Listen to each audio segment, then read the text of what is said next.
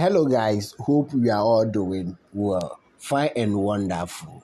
What do we have today? Today, we are coming to learn how to create or sign up or register or create an account with Uber. So, in this video or tutorial, we will learn the steps that are involved, things that are involved in signing up with Uber. So, first of all, you head towards the app as I did, then you tap on the Get Started. You tap on the Get Started. Always, we must make sure our internet connectivity is active or strong.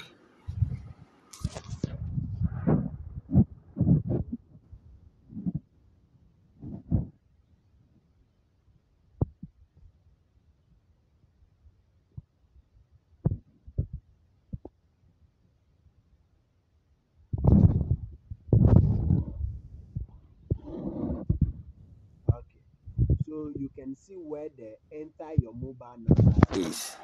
So if that is your number or the number you are willing to register with, you just leave it over there. If not, you enter the number that you want to register with. You can as well as continue or register with Google, or you can even use your Facebook as well as with your email. So you tap on the continue.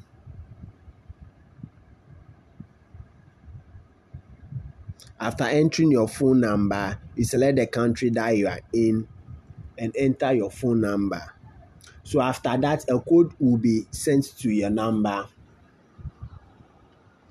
So you check your number to confirm the code.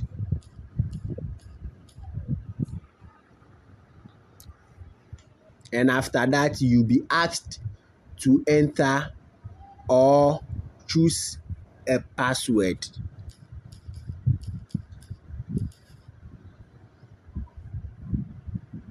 Then you tap on the next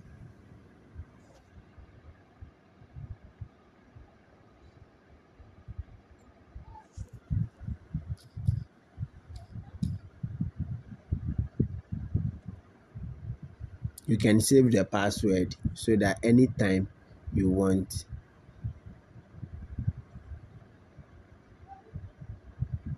Then you tap on the i understand. And that is it. Your account will be created for you successfully. So this is how we are we create an account on uber.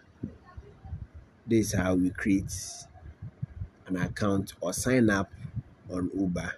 Thanks a lot for watching this video.